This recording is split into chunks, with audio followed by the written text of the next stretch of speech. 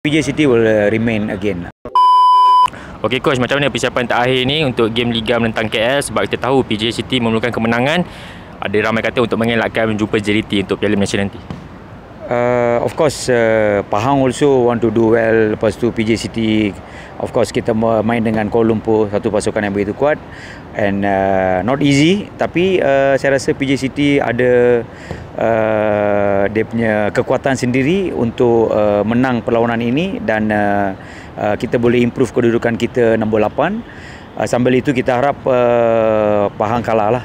Then only we can qualify right uh, 8 position. So I hope this will happen Coach kita tengok uh, dalam 6 game terakhir ni PJ sangat baik. Uh, dengan saya tak silap saya 3 menang 2 seri 1 kalah saja.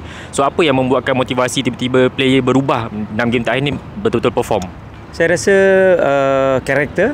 Lepas tu we change uh, some formation and uh, pemain kita boleh nampak mereka memberi satu uh, uh, permainan yang begitu luar biasa uh, agresif uh, one v one battle semua kita boleh nampak mereka menang and also in dalam transition uh, kita boleh nampak uh, kita begitu bagus lah.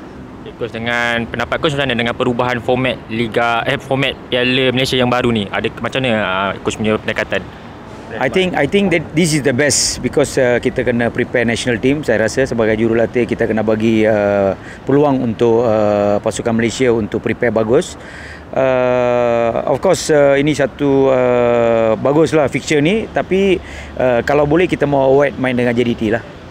Untuk soalan terakhir saya coach uh, Okey, uh, Oswin eh. Ha. Coach, saya dengar saya nampak Oswin buat trial di Perak. Mungkin macam mana coach? Adakah coach yang membenarkan dia ke untuk memilih sebab saya dengar kontrak dia pun berakhir hujung musim ni. Uh, I think they have their own uh, personal uh, target ataupun their wish lah, you know. We cannot force them.